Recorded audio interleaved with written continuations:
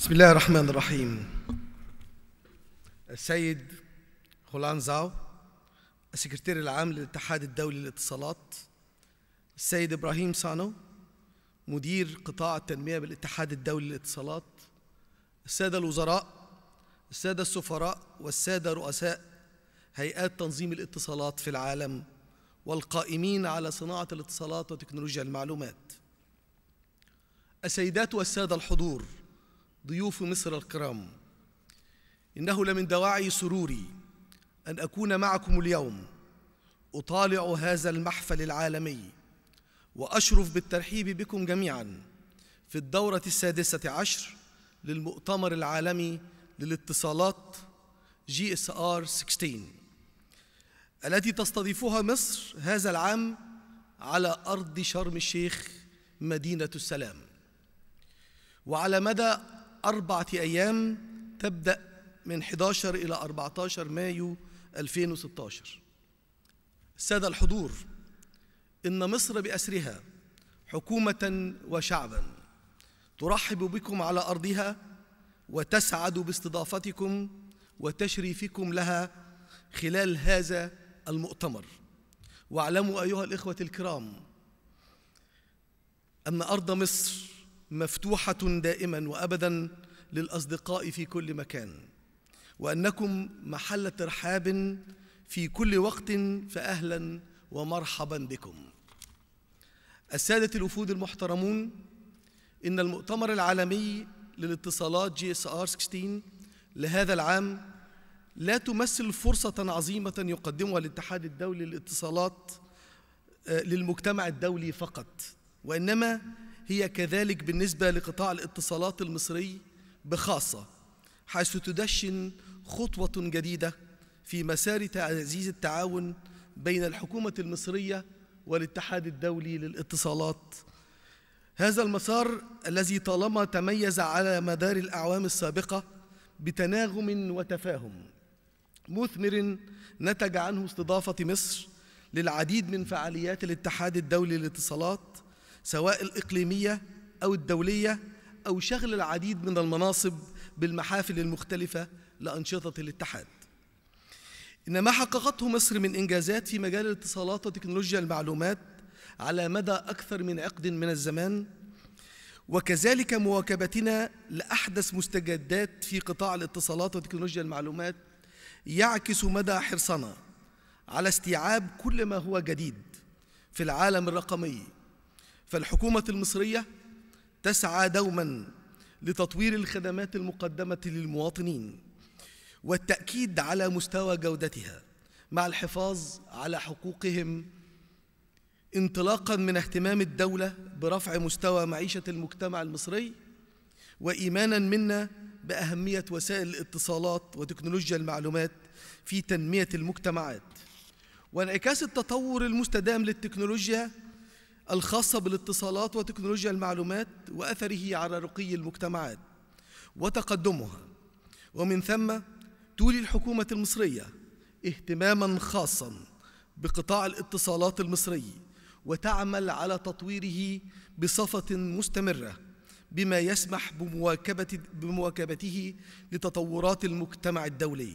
عن طريق الاطلاع المثمر على أحدث تقنيات الاتصالات وآخر تطوراتها وتنفيذ ما يتناسب منها مع ظروف السوق سوق الاتصالات المصري. بناء على ذلك فقد بدأت الحكومة العمل على تطوير البنية التحتية لقطاع الاتصالات حتى يكون له الدور الأساسي في استيعاب وتطبيق أحدث تكنولوجيا الاتصالات. ويأتي على قمة أولويات الحكومة حالياً تقديم خدمات الجيل الرابع لسوق الاتصالات المصري في أسرع وقت ممكن حيث أنه جرى طرح تراخيص خدمات الجيل الرابع في السوق المصري لضوابط لضوابط الجهاز القومي لتنظيم الاتصالات وفي إطار قانون تنظيم الاتصالات المصري بما يتماشى مع السوق العالمية وهو الأمر الذي سوف يكون من شأنه الارتقاء بالخدمات المقدمة للمواطنين في هذا القطاع بالإضافة إلى زيادة.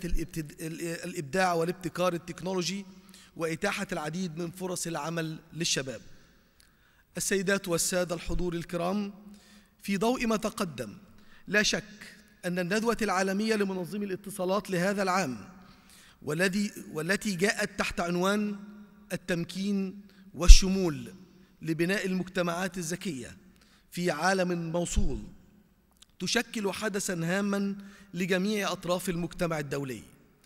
من مختلف أصحاب المصالح في قطاع الاتصالات لما يتناوله جدول الأعمال المؤتمر من موضوعات في غاية الأهمية مثل التكنولوجيا المستقبلية والبيئة التنظيمية والتمكينية كذلك الاستفادة من الطيف الترددي لنشر الإنترنت فائق السرعة حيث أن الهدف هو ضمان توصيل الإنترنت وخدماته لجميع المواطنين. ومن ثم إتاحة المجال بصورة أكبر للإبداع والابتكار. كذلك تكمن أهمية المؤتمر في كونها منصة فريدة ومحايدة تتيح الفرصة للمنظمين ودوائر الصناعة وغيرهم من أطراف معنية للتفاعل وتبادل أفضل التجارب والخبرات بهدف إنجاح قطاع الاتصالات الدولي وخلق محور جديد وتحقيق نتائج, نتائج مرضية في مجال تنظيم قطاع الاتصالات وتكنولوجيا المعلومات. ونحن إذ نجتمع اليوم نحرص على التكاتف والتعاون كمجتمع دولي واحد لضمان وصول كافة مزايا العالم الرقمي إلى جميع مستخدمي قطاعات الاتصالات بشكل سريع وآمن. وفعال. وأيضا توفير وتسخير قطاع الاتصالات في الخدمات المالية والطاقة وعلى سبيل المثال الشمول المالي الرقمي. كيف يمكن تحقيق الشمول الشمول للذين ليس لديهم حسابات مصرفية؟ وللمحرومين من من التواصل في المجتمع الذكي القائم اليوم.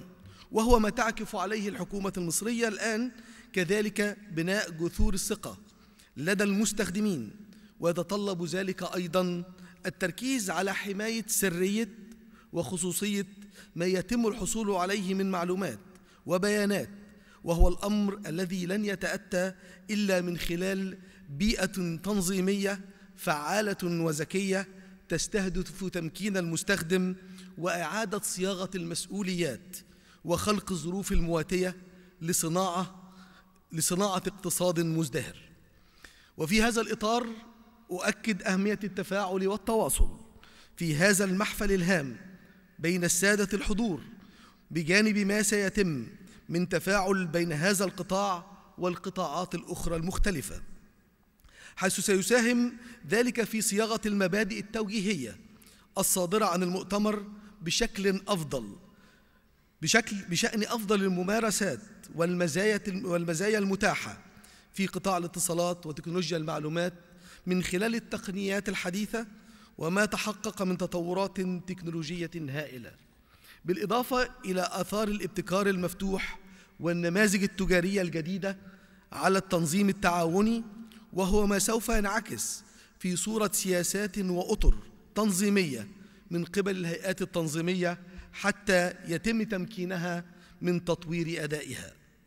أختتم كلمتي هذه بتقديم خالص شكري وتقديري للاتحاد الدولي للاتصالات وفريق عمل هذا المؤتمر على كل ما بذلوه من جهد في سبيل الإعداد للحدث على أرض مصر. كما أشكر إدارة الاتحاد الدولي للاتصالات ومكتب قطاع التنمية على اختيارها مصر لاستضافة الحدث.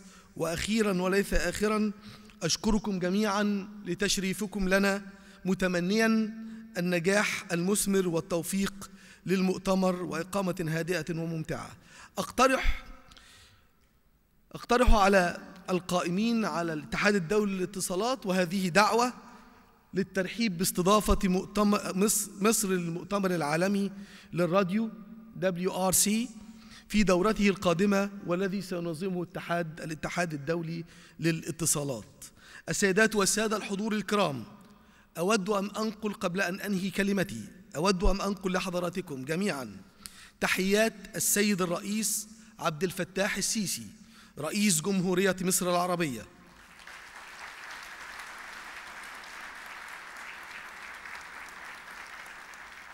والذي شرفنا بأن يكون المؤتمر تحت رعاية سيادته وكذلك تمنيات سيادته لكم جميعا بالنجاح والتوفيق لهذا المؤتمر. شكرا لحضوركم والسلام عليكم ورحمة الله.